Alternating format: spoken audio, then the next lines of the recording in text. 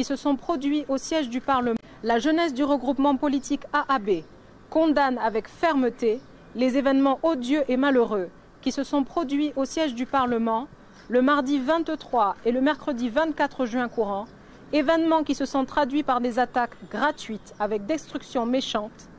à l'encontre des élus légitimes du peuple et de la notabilité proche du Front commun pour le Congo par les militants d'un parti politique bien identifié.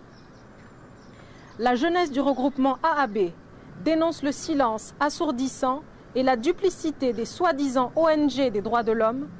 et appelle la police nationale congolaise au professionnalisme, à l'impartialité. La jeunesse du regroupement politique AAB rappelle à l'opinion tant nationale qu'internationale son attachement aux principes républicains et démocratiques chèrement acquis qui ont toujours guidé la République démocratique du Congo, notre pays.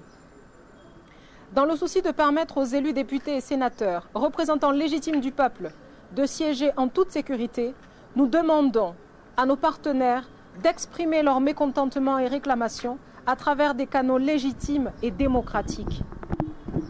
En cas de récidive persistante dans le chef de nos partenaires, la jeunesse AAB sollicite la fin de la coalition FCC Cash et propose aux autorités du FCC d'envisager un gouvernement de cohabitation.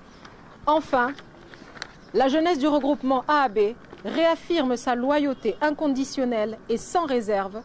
et son soutien indéfectible à son Excellence Joseph Kabila Kabange, autorité morale du FCC, ainsi qu'à tous ses élus et aux institutions de la République.